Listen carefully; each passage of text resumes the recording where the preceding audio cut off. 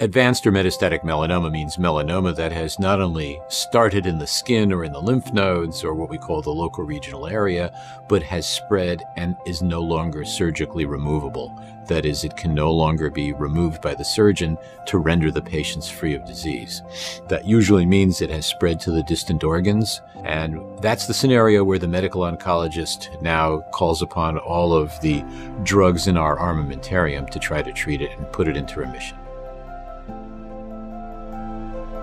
The drugs we most commonly use fall in two categories either immunologic drugs, which are the ones used most commonly, and those immunotherapies are drugs that in general disinhibit the immune system, which is highly suppressed in melanoma and many other cancers.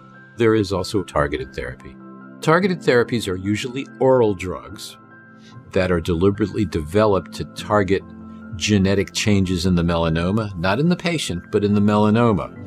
So, about 40 50% of melanomas have a genetic change or a mutation called BRAF or BRAF. And if you have a drug that can specifically block it, it will cause the tumor to shrink and cause benefit for the patient. We will often use those oral drugs in combinations. We call them the BRAF and the MEK drugs. And there are three combinations that are FDA approved. We will use that if the patient's tumor has the mutation. Otherwise, the patients tend to get treated with immunologic therapy, and there are multiple possible immunologic therapies alone or in combination that we use in the clinic to, in my view, fairly successfully treat metastatic melanoma. 15 years ago, the average survival of a patient with metastatic melanoma was about 10 months.